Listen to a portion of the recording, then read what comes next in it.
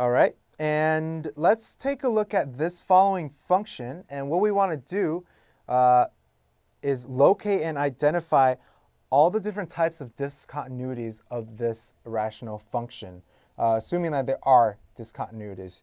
So to look for discontinuities, we would have to simplify this function down so we know exactly what's going on. So let's go ahead and do that right away. Uh, we know that we can factor the top. So let's just go ahead and do that. 3x plus 4x minus 2. So 3x times x, 3x squared.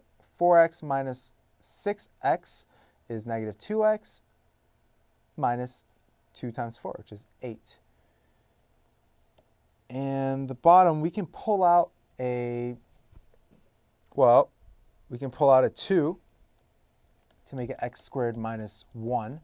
And we notice that x squared minus 1 can be further factored. So 3x plus 4, x minus 2 over 2 times x plus 1 times x minus 1.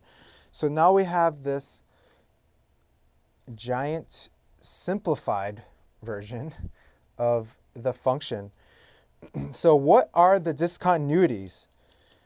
Well, we know that here there are two asymptotes at x equals positive and negative 1.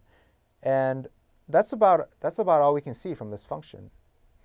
So we can say that the types of discontinuities are asymptotic or essential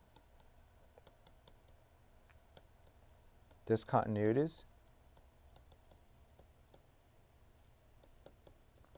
at x equals positive and negative 1. And that concludes the limits and continuity sections. Thank you for watching educator.com. See you in the next one.